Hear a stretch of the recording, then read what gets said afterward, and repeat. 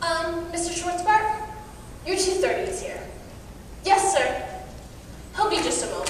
Thanks.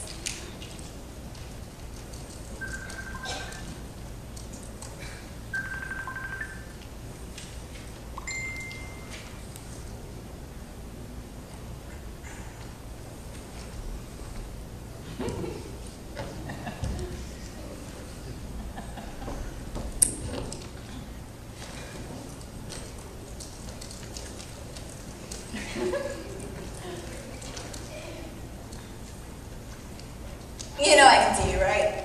Dang it, Deej! Come on, you must have like Superman eyes or something. I was moving so slow. Nope. Normal eyes. I told you guys to stay in the car. This won't take long. Me and Polly didn't really think it'd be a good idea for you to be alone on the day of your dad's funeral. Totes, we're here for you, Deej. I'm fine, Nikki. I already told you that. Besides, I'm not alone. I've got Hazel. Right. Hazel's here with me. Nikki DeCrow, professional mime. Pleasure to meet you. Likewise. You know, I'm a professional mime. If you need any mime work done, I'm your man. Walking against the wind. Trapped In a box. in busy juggling. You name it, I've mimed it. You sure talk a lot for a mime. You know, that's what my instructor keeps telling me to. That's what everybody tells her. And this pretty pink peacock over here is Polypagamomus. Apparently, no one told Madame Curie over here you're supposed to wear dark colored clothes to a funeral. Oh, whatever. Yeah, nice comeback. Your magazine's upside down, genius. This is why I didn't want you two to come inside. I'm offended. Deej, I am your best friend. Your rock. Your shoulder to... Move. Your shoulder to cry on. Here. Cry. Let it out. No thanks. You know you want to. I don't. Come on. Think of a happy moment with your pa and let the waterworks flow. Please Cry me a river. Cry me a river. Cry. All right, stop it. This is ridiculous. Not in a crying mood. Okay, we'll try again later. No, we won't. Look, I just want to go in there, see this lawyer about my father's will, and then leave and never think about him again, okay? That's not really healthy, bro. I mean, there's like, what, 11 stages of grief you gotta go through? There's like anger, denial, Frustration. yeah, yeah, confused, sleepwalking, intense hunger. Well, what have I got to be sad about? Nothing I ever said or did was ever good enough for my father. I could never forgive him. Besides, he never really spent time with me. He was always working. I remember my 11th birthday. He promised to take me camping at Pacific Falls. But no, last minute work trip. Don't worry, Deborah. I'll make it up to you. What did I ever learn from my father? Reading, writing, science, math.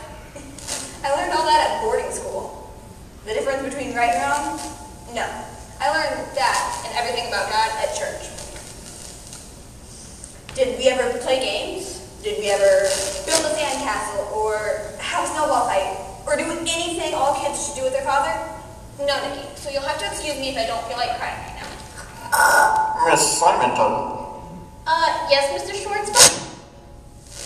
Again? I'm sorry, sir. You just seem to lose yourself a lot. I'll go ahead and track him.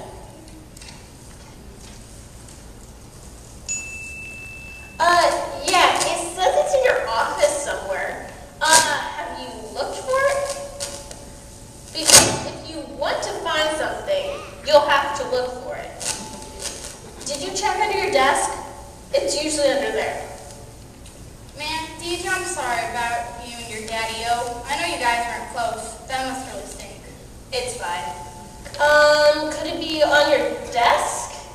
Uh, maybe under some papers? Well, at least he put you in his will. That means he loves you, right? How would I know? Uh, could you have locked it in the safe again? I, I never even remember my father ever saying he loved me. I don't even remember a single conversation we ever had.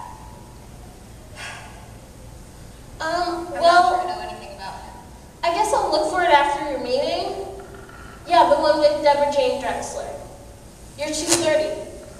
Right away, sir.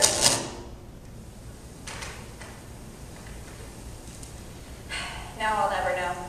Um, Miss Drexler, Mr. Schwartzbart will see you now. Yay. Maybe not. You want to know more about your father, Deej? Then Let's go find out. Right this way. Why did I have to make them so small? Uh, Mr. Schwartzbart, Yes. your 230's here. Who? Deborah Jane Drexler. Pleasure to meet you. Hope you don't mind, but I brought my friends here. Not at all. Just sit down. Uh, I guess I'll stand, you know. Uh, Mr. Schwartzbart, That'll be all, Miss Simonton. uh, but, Toodaloo. now, Mr. Drexler, may I first offer you? Please, call me DJ. Okay. DJ, may I first offer... Or Deej, or Dougie, or Mr. Drigglestein. May I offer you my condolences for the loss of your father. He was one of my most beloved clients. Now, as you know, Uh, this is, this is so silly, Nikki. Just- Oh yeah, Nikki. You can also call me Nikki. So tell me, what was he like? My dad. I don't understand what you mean. Well, was he happy, sad, confused? What was his favorite joke? Did he like to juggle? 'Cause I can juggle. Let me show. Nope, nope. It's a juggling so much easier. Young lady, this is my place of business. Your father would be so. Disappointed? Who are you? I'm Deborah Jane. no! My friend here was playing a joke on you. I don't seem to see the humor in this. Either do I. Put a sock in it, Polly. Well, as you know, put that down. As you know, your father was a very wealthy man, Yeah, that much I do know. and you being his sole heir, everything that of his worldly, worldly possessions are left to you. Holy free, holy Deej, you're rich! However, Hurry, let's leave now before the news is bad. Uh, however, in lieu of a written will, he left you this box. what's in it? I hope it's food. I'm starving. I don't know. He left it with explicit instructions that no one know what's in it except for you, in case you find. Here's the key. Now, if your friends would come along with me, we'll give you some privacy.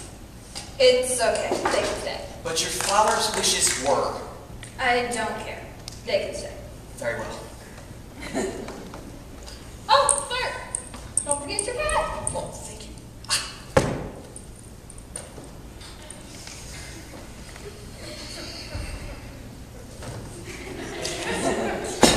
Stupid kids. I think he liked me.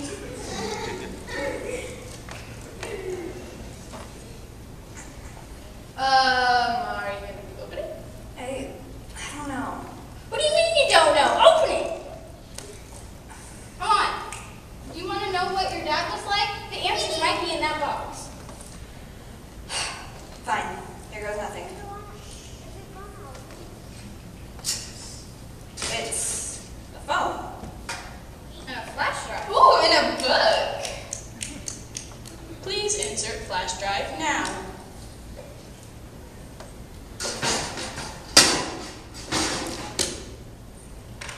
Hello, daughter. If you're watching this video, I'm either dead or my lawyer doesn't know how to follow instructions.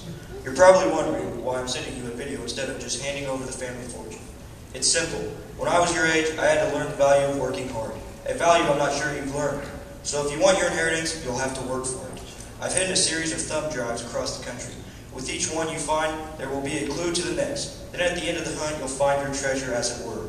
All expenses for your trip will be taken care of. In addition, the phone you're now holding acts as a GPS.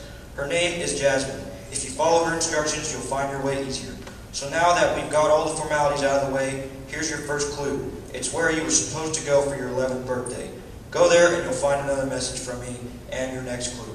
Don't disappoint me, Deborah. Can you believe him? He still expects me to fight for his approval. Yeah, that's a Shrosh Deej. If he thinks I'm going to go on some wild goose chase just for a little bit of money, he can think again. Yeah, you tell him, brah. I don't need his money, and I don't need his approval. I am totally listening to you right now. What are you doing, Mickey? I'm redecorating. You agree with me, don't you? Yes? That means he's not, she is not gonna find the treasure. Oh, no, that's stupid. You need to go look for it. But, uh... And I'm coming too. Oh, me too! Come on, Deej, you want to know the answers about your father.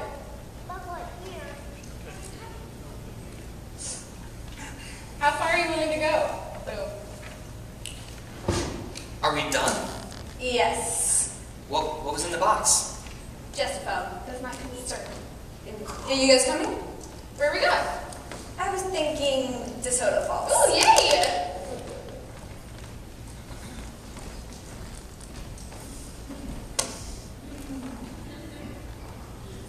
Miss Simonton!